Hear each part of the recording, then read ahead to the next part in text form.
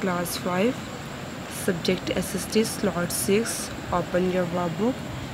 Page number 31 chapter name trade and industrial development. A choose the correct answer. First statement how many sugar mills were there at the time of independence? Your answer is a 2 second statement cement is exported to the countries except your answer is c nigeria Third, which of the following is not produced by fertilizer industry? Your answer is A call. B. Fill the blanks with appropriate word. First statement, dash sector is of great importance of economic development of country.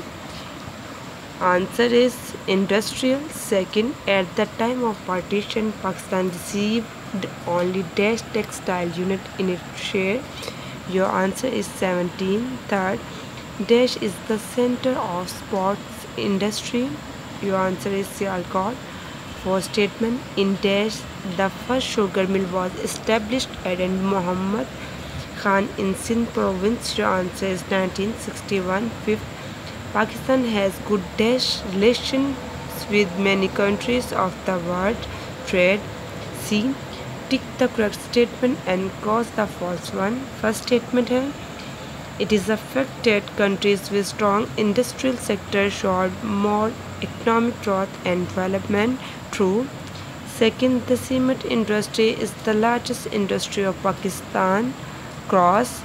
Third raw cotton and textile goods are major export of Pakistan. True. Four there are 14 fertilizer industries working in Pakistan. True Fifth, Pakistan exports the edible oil. Cross. Next page number 32. Match the column.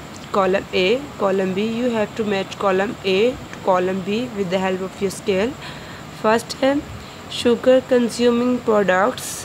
Third, biscuit, tea, juices. Second, cement plant in Pakistan. Fifth, 24.